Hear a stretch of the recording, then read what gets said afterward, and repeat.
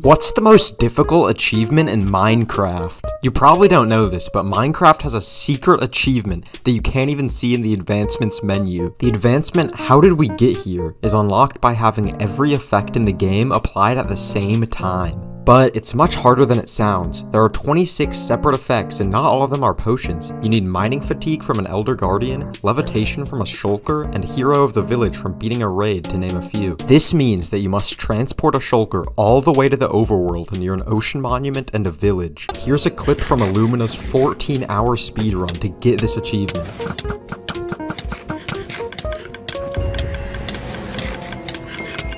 Let's go! If you liked this video, make sure to follow and drop your own question in the comments. But that answers the question.